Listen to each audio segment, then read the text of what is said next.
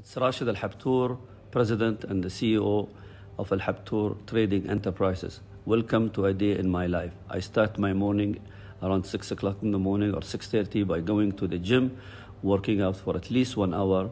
And since the polo season have started, now in October, I would do polo at least two to three times uh, a week. And after that, after I go shower, change, and have my breakfast, and usually I will start my work around 8.30 in the morning by going to my office in the Jumeirah. And after I do all my paperwork, I will start uh, my meetings in my polo room in my office. I will have two to three meetings at least every morning. After that, I will head to Habtoor Palace to continue more meetings because I like to have meeting in Habtoor Palace because of it's a nice ambiance.